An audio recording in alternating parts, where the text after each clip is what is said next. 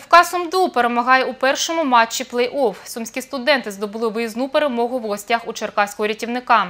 Сумчани, забивши два м'ячі, вийшли вперед з перших хвилин гри. Але суперники переломили його на свою користь. Перший тайм закінчився з рахунком 3-2. Забити ще сумчанам не дозволили, а натомість додали ще два м'ячі. У підсумку підопічні Сергія Песоцького обіграли суперників з рахунком 4-3.